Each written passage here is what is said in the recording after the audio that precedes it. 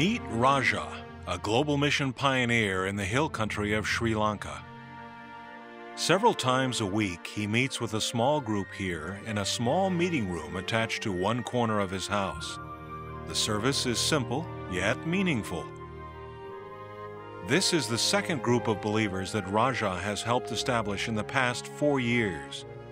In this region, there are no large halls to host evangelistic meetings. Cars are a luxury that few people can afford. Most people walk or travel by public transportation. Getting from place to place can take hours. This makes public and personal witnessing difficult.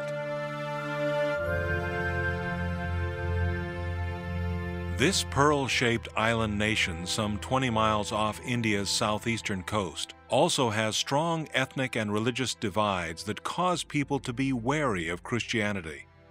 As a result, the Adventist Church has grown slowly over the past century.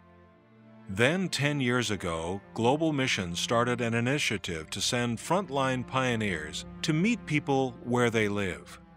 Global Mission pioneers like Raja understand the culture, they speak the language, and they are able to break down prejudice. Raja is just one of some 2,500 global mission pioneers around the world.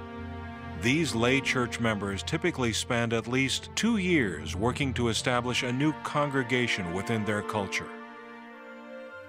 Global Mission's work of intentionally reaching people where they live is paying off over the past decade, the number of Adventist congregations in Sri Lanka has grown from 28 to nearly 50, a growth rate of more than 50%.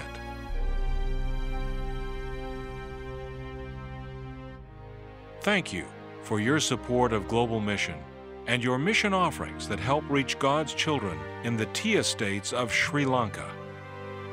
To learn more about Global Mission, please visit global-mission.org.